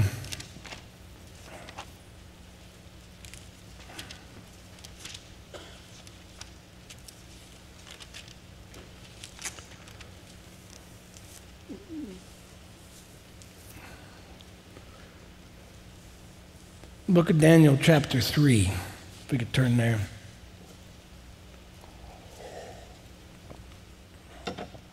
This is the story of the three Hebrew men. I corrected myself from saying three Hebrew children. They were, they were children when they went to Babylon. This was some time later. And if you ever meet them on the other side, don't call them the three Hebrew children. They did grow up. So these are the three Hebrew men Shadrach, Meshach, and Abednego. They have to face the trial of the, the king's religion and the king's idol. They want them to worship before it, and they refused. Now they're coming before Nebuchadnezzar in verse 14. It said, Nebuchadnezzar spake and said unto them, Is it true, O Shadrach, Meshach, and Abednego? Do not ye serve my gods, nor worship the golden image which I've set up? Now, if you be ready, that at what time you hear the sound of the cornet, the flute, the harp, the sackbut, the psaltery, and the dulcimer, and all kinds of music, you fall down and worship the image which I have made, well, but if you worship not, you shall be cast the same hour into the midst of the burning fiery furnace. And who is that God that shall deliver you out of my hands? Shadrach, Meshach, and Abednego answered and said to the king, O Nebuchadnezzar, we are not careful to answer thee in this matter. They're saying, We're not cautious, we're not anxious, we know exactly how to answer. We're not careful to answer thee in this matter. If it be so, our God, whom we serve, is able to deliver us from the burning fiery furnace, and he will deliver us out of thine hand, O king. But if not, be it known unto thee, O king, that we will not serve thy gods, nor worship thy golden image which thou hast set up. I love this example because they're following the word. The word tells them that they're not to bow before graven images here in a foreign land, a powerful king, you know, and they're officials in the kingdom. These are people who have had benefit and privilege of having uh, an office and a position with the kingdom with Nebuchadnezzar. Amen. They're not poor, they're not destitute, they're, they're living uh, uh, presumably a good life in Babylon. But now they come and face the word, and when they come in contact with the word and, and, a, and, a, law to move them contrary to the word, they refuse to bow. And Nebuchadnezzar gives them another chance, and he says, If you'll do, if you'll bow, amen, it'll be well. But if not, uh, you'll be thrown into the furnace, and what God will save you then. And they said, We're not careful to answer you, king. Now, I want you to catch the, the attitude that they have. This is what I want to highlight so well. They don't, they don't get brazen and bold. They don't start uh, spitting threats and say, You better not. If you know what's good for you, don't throw us in that furnace. They don't say, Do you know who we are? But, but when Brother Branham told us you overcome by taking the word and humility and humbly walk. This is what these three did. They knew where they stood on the word. They knew this was contrary to the word of God, and they were worshipers of Almighty God, and they were not going to bow before the image, but they didn't have to stomp, yell, threaten. They didn't have to, they didn't have to uh, petition. They didn't have to do anything. They were standing on the word. They were already overcoming regardless of the results. They were overcomers by staying with the word. And they said, We don't know. God is able to deliver us out of the fiery furnace, and He's able to deliver us from you. He will deliver us from your hand. But even if not, like I can't guarantee your results. I don't know what God will do. I'm not in control of God. God's word is in control of me. I'm under the control of God's word. God is not under my control just because I'm standing on his word. I can't say, God will do this and God will do that, and you just wait and see. And, and he, no. We have to keep God as God and ourselves as his subjects. Amen. And stand on his word and know that, yeah, God is more than able to deliver me. And I believe he will deliver me from your hand. But even if not, we're not going to bow because I'm staying with the word. If God never shows up, if I never get a tingly feeling, if there's no sensation, if there's no seeming deliverance, if all this trouble doesn't go away tomorrow, I'm still standing on the word, amen? Because I'm not in control of God. I'm only controlling my surrender to this word. God will do what God will do. He's able. I believe He will. But if He doesn't, I'm staying with the word. If we could just have that attitude, we're going to see some amazing things because God will do what God will do, but God will share his glory with no one. He won't share it with a ministry, he won't share it with a man, he won't share it with the church. He'll get all the glory and he'll do it in such a way when you can come humble before him and say, God, I don't know the answer. I don't know the solution. I don't know how to fix this problem, but I know your word says, and I'm standing right with your word, and I know that you will honor your word. We've tried to figure out too many things. And we've made too many bold proclamations. God will this and God will that. That's not the example we see.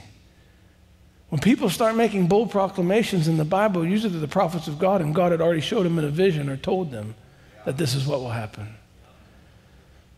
Even Micaiah Micaiah was brought before Ahab and Jehoshaphat, and he has a he has a different prophecy than the rest of the prophets. Amen. And he's even reluctant to give it because they've already come and gave, him a warning. They said, "Now listen, the messenger came to get Micaiah and said, "This is what's been prophesied," and you just say the same thing.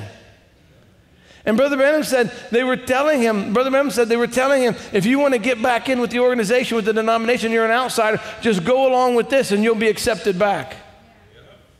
But he's only going to stay with the word. But look how he comes in. He doesn't stomp in and start pushing himself around and making something special out of himself. He comes in, he knows what they want, he knows what Ahab wants, he knows where his heart is, and he says, What do you say? He says, Go on up. That's what you want to do, anyways. It was only Jehoshaphat who really wanted to know what the Lord wanted, not Ahab. So he looked at Ahab and said, Go on up. And he said, Did I not tell you to only speak to me in the name of the Lord? And Micaiah says, Go up, but I see Israel as sheep with no shepherd. He didn't start calling him names. He didn't start saying, Do you know who I am? And Micaiah was just standing there. And then Ahab has him thrown in prison. And on the way out, he said, Feed him bread of sorrow, feed him this and that. When I return, he says, If you return at all, God never spoke to me. Now, listen, he never said, There's no chance that you're coming back because you know who I am. Look at the humility. If you come back at all, God didn't speak to me. Look where he put himself. It wasn't arrogant. It wasn't brash. It wasn't harsh. It was just a man who was doing what God told him to do. It was just a man not exalting himself, but just exalting God and only, only saying what God told him to say. Not adding a bunch of stuff to it, not making himself a special person, just saying, if you do return, God never spoke to me. Praise God. I love the character that I see in the Bible, and I want that character to be in me. Let's go over to Daniel chapter 6.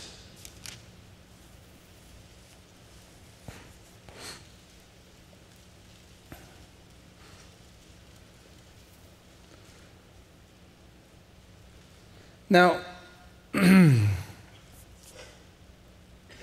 Now, when Daniel knew that the writing was signed, he went into his house, and his windows being open in his chamber toward Jerusalem, he knelt upon the knees three times a day and prayed and gave thanks before God as he did aforetime. Daniel, now, as, as one of the head presidents over all the realm of Darius and the Medes and the Persians, He's got other presidents that are jealous of him and princes, and they have Darius sign a decree that nobody else can worship anybody else but himself. Amen. And so, so, but Daniel, Daniel didn't go storming in to the king's chamber and complain. And listen who Daniel is. Daniel is the highest ranking of three presidents that he put over his entire kingdom. And he's the head of them all. And he was going to set the entire kingdom under Daniel. So Daniel's not like you and I trying to go to the White House and talk to somebody. Knocking on the door. Can I have a meeting with the Speaker of the House? Daniel, Darius was going to set the whole kingdom under Daniel's rule. He had the whole kingdom divided amongst three presidents, and Daniel was the leader of them all. He could have got an audience with Darius. He could have, he could have pleaded his case. He could have made a good case. Amen. No doubt he was wiser than them all. The reason he was exalted and God had given him supernatural wisdom, he could have made them look like fools, but he didn't do anything. This was this was attacking the word of God and his worship to God. Amen. They were attacking God, so he just went and did what he always did. He didn't change his routine one drop. He said, when it was written and signed, he went into his house and his windows being open in his chamber. He didn't say, Well, watch me. You say I can't. Listen, I tell you, you stay away from all this right wing news media garbage because they're, they're, they're, they're messing up people's minds, making you violent and bold and brash. Amen. To fight against this and fight against liberalism and fight against that. Amen. Daniel even never made a protest to Darius. He just kept serving God the way he always served God. He didn't have to yell. He didn't have to storm around. He didn't have to start a petition. He didn't have to start a news media outlet. He didn't have to start blogs. All he did was went in and his windows already being open. You know, they didn't go to have a prayer vigil on the Capitol steps. He just did what he always did. And he prayed. And he prayed towards the east because that was the commandment that he was given.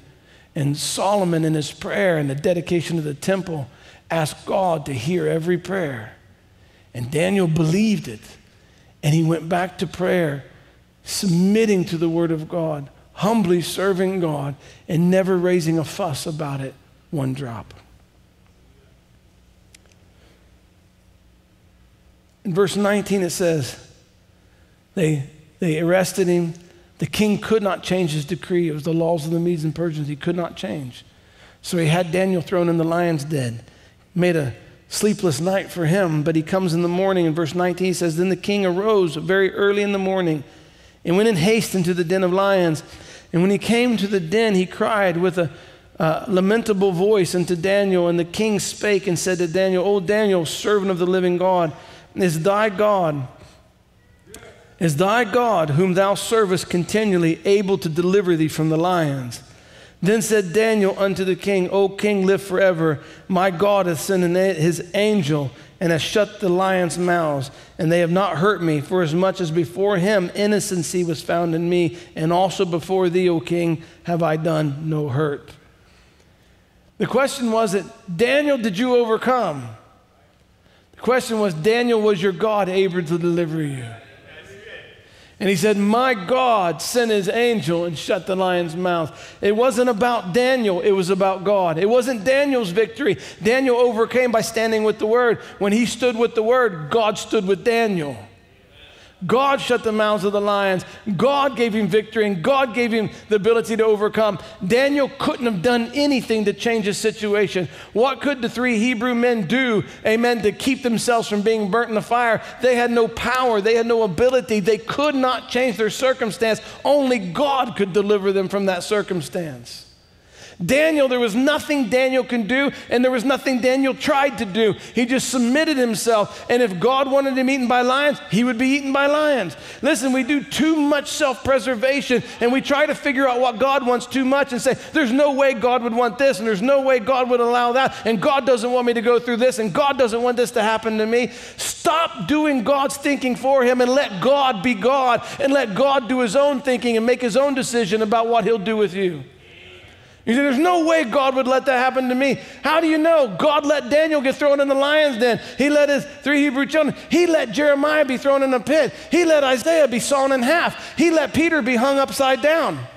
He let Paul be beat, amen, with, with rods, beat with whips, be stoned and left for dead. He let him be shipwrecked a couple times. He let him be chased from city to city. What do you mean God doesn't want that to happen to you? God won't let that to happen to you. He's let it happen to every other Christian that's come down through the ages. What do you mean you know God doesn't want th- that to happen to you?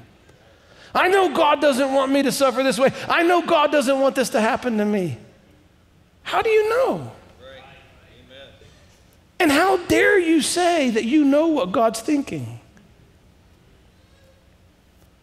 To say, God, if this is what you want, then here I am.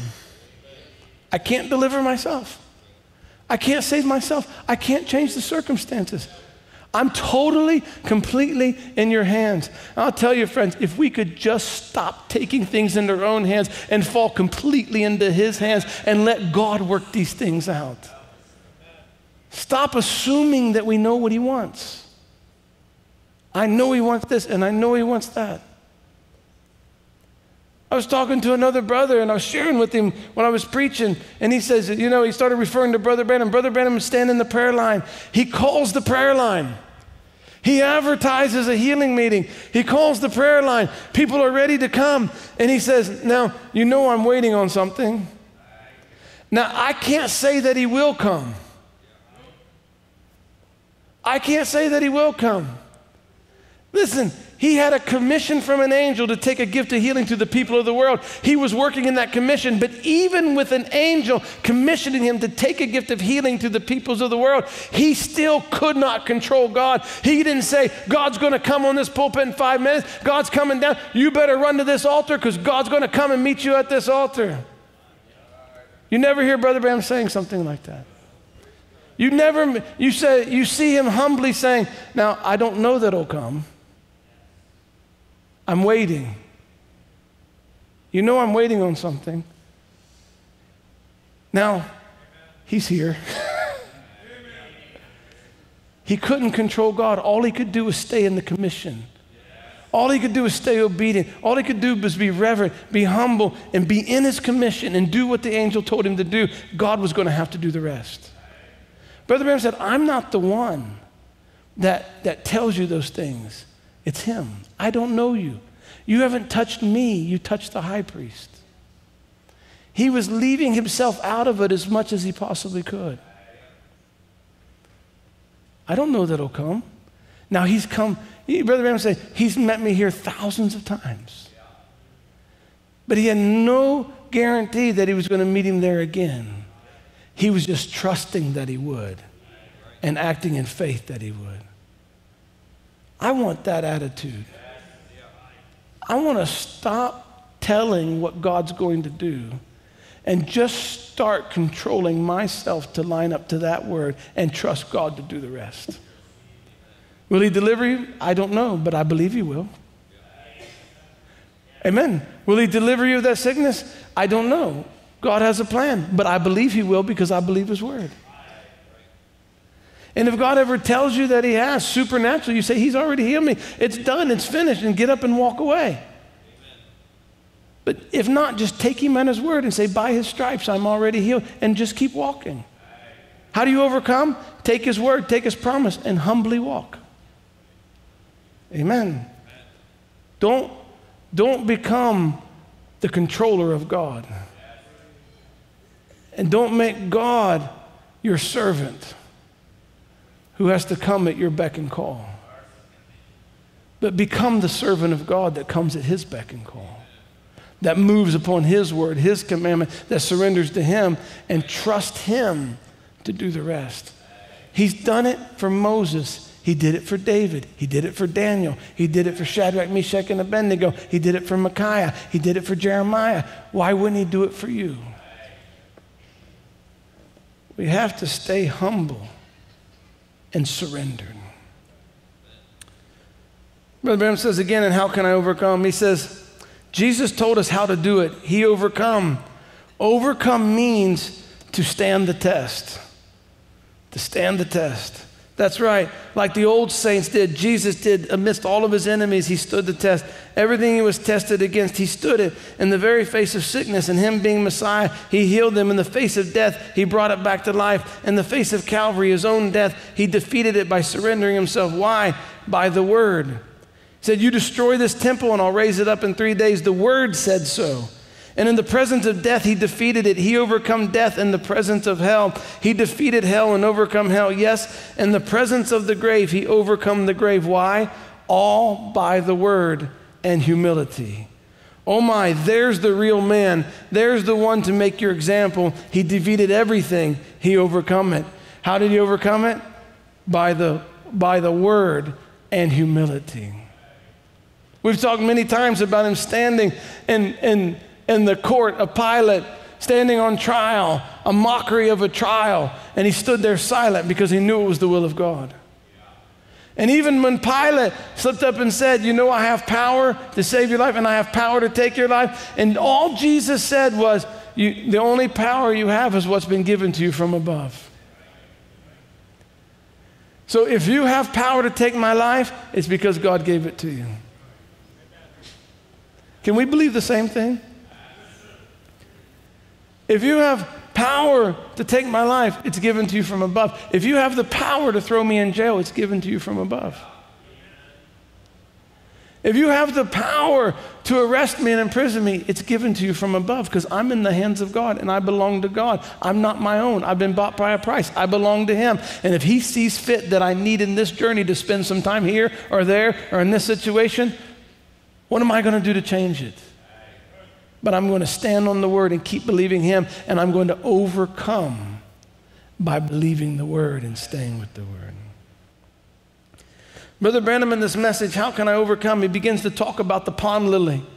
And Brother Branham talks about the pond lily in so many different sermons, and he talks about there was a pond lily in the little pond that they drained where they built the, the tabernacle, Branham Tabernacle set. There was a little pond, and he always went by and he, he admired the pond lily. It was one of his favorite plants. And uh, one of his favorite flowers, and he begins to talk about how it comes out of the muck under the dark, dank uh, uh, uh, pond, under the stagnant waters, in the muck, laying in the mud at the bottom. But it begins to climb its way to the light until it breaks forth out of the water. Amen. And it begins to bloom. And he said, It's so beautiful after it blooms, you couldn't imagine where it started from.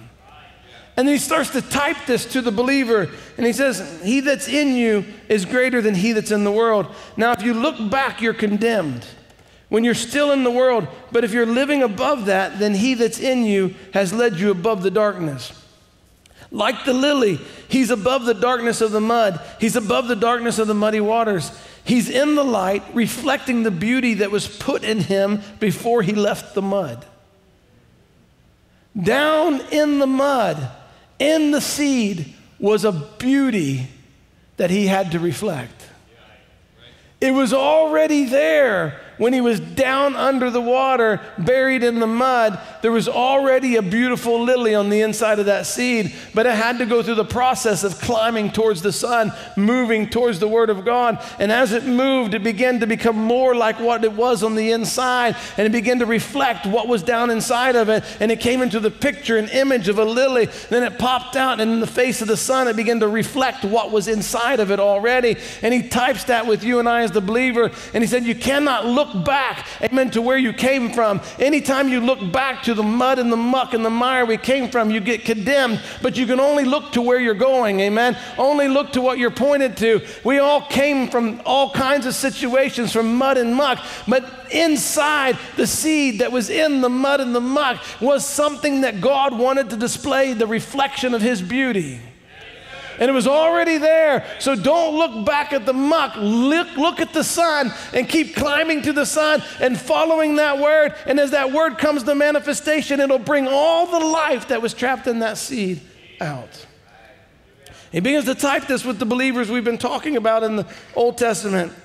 He says, Now I feel like a shouting Christian. What was it there by God at the beginning? It pressed its way through, overcome. It overcome the shell. It overcome the mud. It overcome the waters. It overcome everything and was an overcomer and reflecting the beauty and glory of God. How did that lily overcome? There was a life trapped down inside that when sun hit it, it began to move towards the sun, towards the word. How did it overcome? Kept moving towards the sun. How will we overcome? Keep moving towards the sun. Stay with the word. Move towards the word until the word produces what's already inside of you, comes out to reflect the life that was trapped inside. What do I do to overcome? Keep walking in the word and become what you were always meant to become. He said it, it overcome everything, and was an overcomer, and reflected the beauty and glory of God. That's the way every believer does. That's the way Noah did. That's the way Lot did. That's the way, look what a mess he was in. That's the way Moses did. That's the way Joshua did. That's the way Daniel did. That's the way Shadrach, Meshach, and Abednego did. That's the way John the Baptist did, Zacharias, Elizabeth. That's the way Simeon, that's the way Anna, every one of them did. They overcome the mud that they were around them and packed into them, stuck their head above the thing and shine forth the glory of God. That's what a real Christian does. What do I do? Just keep stretching towards the light. Just keep moving. How did little, little Lily overcome? Buried in mud, buried in the pond. How it had no chance, amen, of ever being anything buried that deep below the surface of the water and in the mud, except there was a seed inside. And the word, the light, began to pull it. And what you and I are to become was in us, in our soul, from before the foundation of the world. And the light of the word is begin to pull us, keep walking in the light. We don't have to figure out how it's going to happen. How will I get to this? How will I overcome that? Stay with the word. Our overcoming is in the word. Stay with the word. Stay in the light.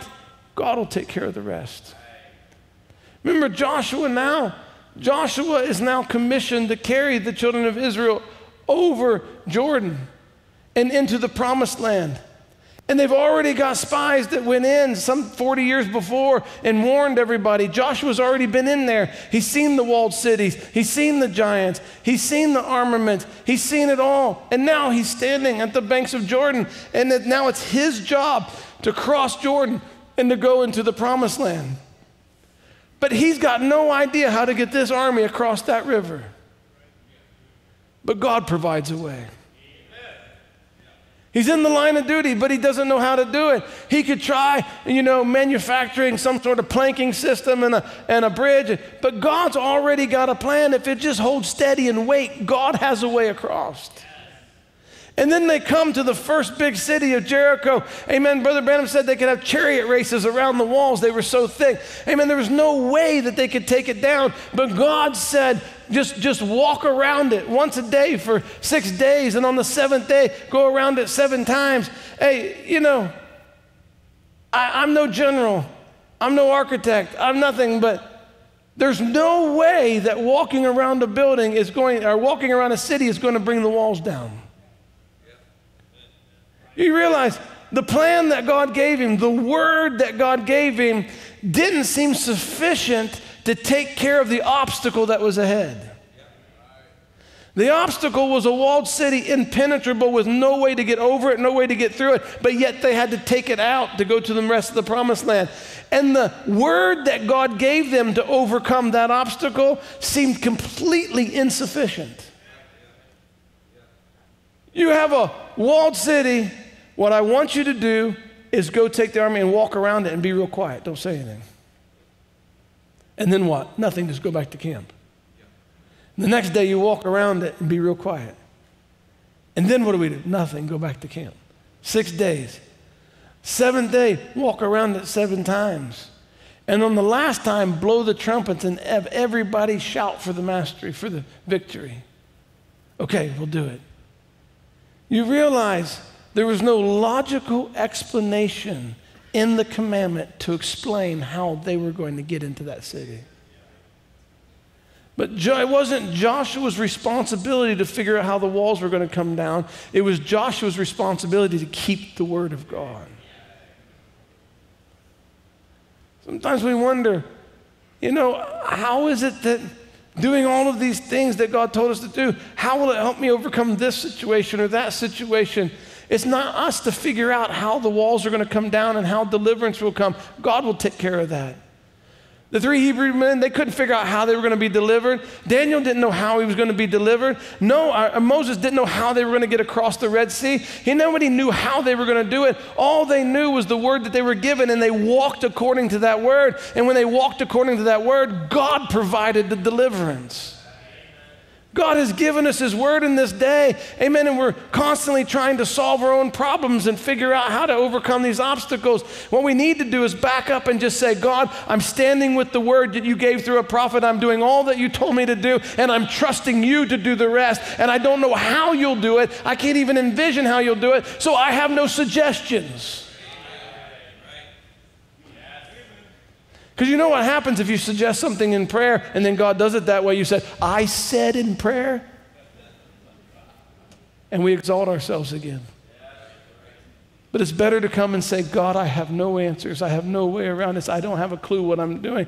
But I'm standing on your word and I've done, as far as I know, I've done everything that your prophet told me to do. And I'm staying as faithful as I know how to stay to your word. And now I'm trusting you to bring deliverance, to bring healing, to bring whatever we need. Amen. I'm trusting you to do it.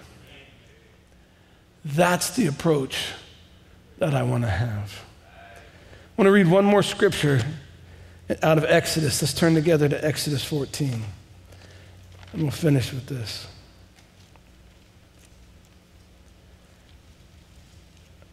Exodus 14.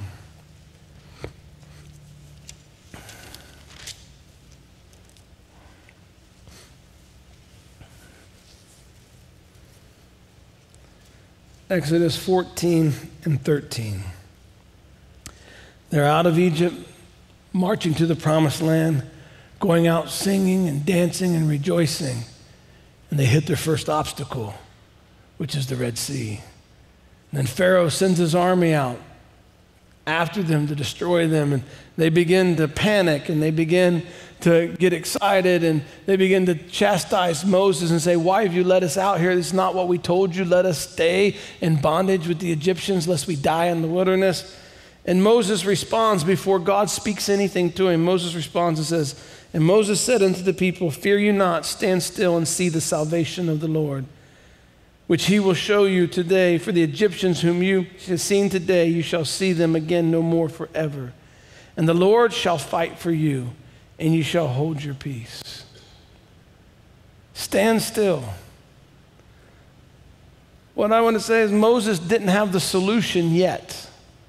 He just knew what God had told him that he was going to bring him to this land, that they were going to go worship on that mountain. He didn't know the solution, he didn't know how yet. God hadn't told him to take the rod and hold it up. All he knew was that God would not fail on his word, that we're to go worship on Mount Sinai. But he knew that he didn't have power to deliver them. And he did not have the solution to the problem, but he knew who did. And he says, verse 14, the Lord shall fight for you, and ye shall hold your peace. When you've done all that God asked you to do, and you still have no answers, don't make up answers. Don't pretend that you know what to do when you don't know what to do. Don't become so bold that you start making declarations that God didn't tell you to do and you have no permission to do. Just stand and say, God, you've called me to this life. You've called me to this word, and I'm standing on this word, and I'm in the line of duty. And Lord, I'm trusting you to fight for me and to deliver me. I'm going to hold my peace until I see what you do. And then I'm going to be on the other side of the Red Sea with a tambourine, singing and dancing and talking about the great victory that you just brought. Because I didn't even know what to do. We got family situations. We have personal situations, work situations, all kinds of situations that we don't have the solution to. But what we've been given is the Word, and the Word is enough. And if we'll stand with the Word and have faith in God and stand still and watch God fight for us and have confidence in Him, I believe we'll see the hand of God over and over and over again. What's the way to walk? Stay with the Word and walk humbly. And let's all stand. Musicians, if you could come, please. And Brother Ben, if you'll come forward, please. I don't know why God will not give me permission to leave this subject submission and humility and surrender. Amen. But there's a reason, friends. There's a reason. It's a constant every Wednesday and every Sunday for several weeks now. A reminder that if you want to go up, you must go down. If you want something from God, you must surrender to Him. That He's not looking for an arrogant and bold nature. He's looking for a humble, submissive nature so that He can be the great one among us. I said, God, help me. Help me to forsake all my thinking and just trust in you. Amen. Praise God. Let's bow our heads and pray. Lord Jesus, we thank you, Father, for your word, for the things that your prophet has taught us, Lord the wiles and the trappings of the devil and the temptation and how he always used those three, those three methods, Lord.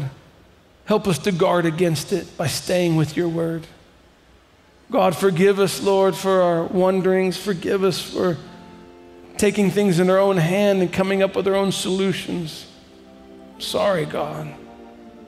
And I just pray, Father, that you would help us to walk humbly before you to surrender ourselves to your word, to stay with the word, and have confidence that you will work the supernatural, the miraculous, that you will be powerful and you will be our deliverer. For we have complete confidence in you, so much so that we can lay ourselves in your hand and take our hands off and know that you'll do better than we could. Lord, we love you. We thank you for your word. May it live inside of us. May it change us. May we become more like you every day. May we handle situations the way you would handle them. May we respond the way you responded, Lord. May we be obedient the way you were obedient and submissive the way you were submissive and humble like you were humble.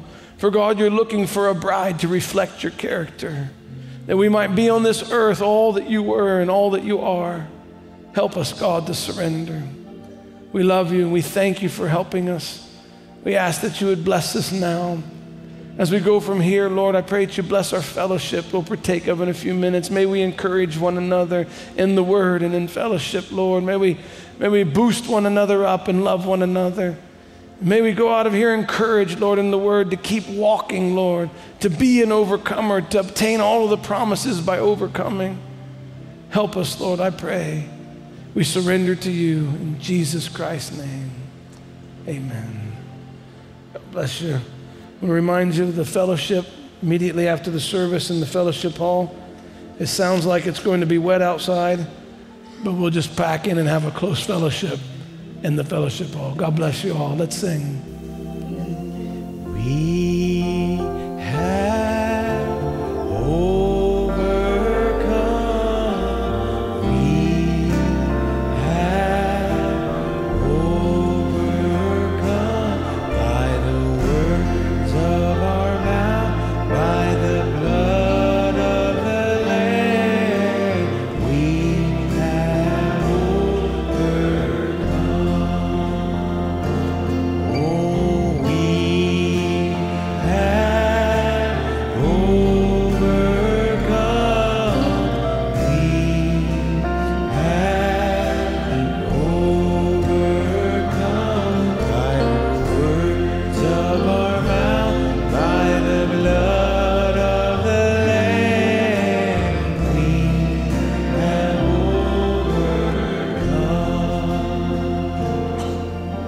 was thinking about the Hebrew, the Hebrew men, the fiery furnace, and Daniel, Jeremiah, and Micaiah, and Isaiah, David, and Moses. I was thinking of all of them, and then I was thinking of Jesus Christ and Paul and his trial, and his arrest and his trial.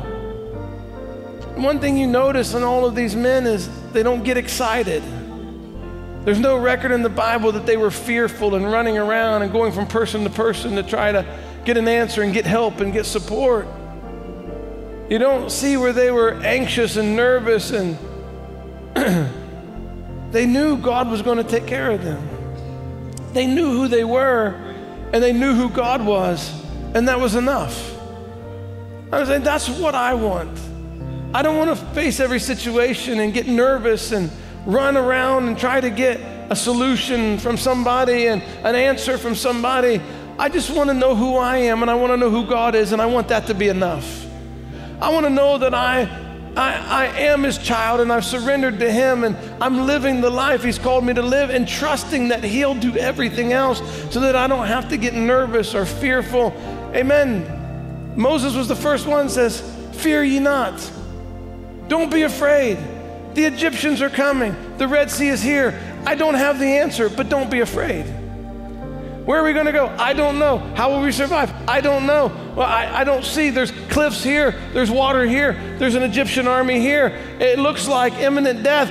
But, but Moses at that time says, Fear ye not.